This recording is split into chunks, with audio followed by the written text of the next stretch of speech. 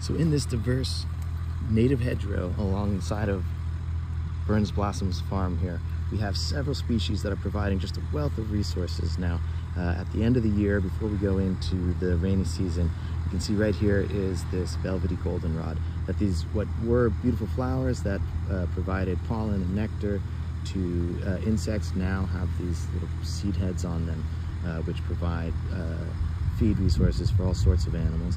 Uh, right next to that, we have a native California rose. And you can see these beautiful rose hips at this time of year uh, are something that can be eaten by uh, birds. And you can see in the back there is a little bit of a, a flower that's still on this rose to provide pollen and nectar for other insect species.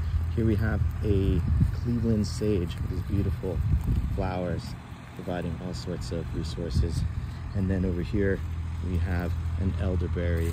Uh, you can see these big clumps of elderberries, which also provide food for birds.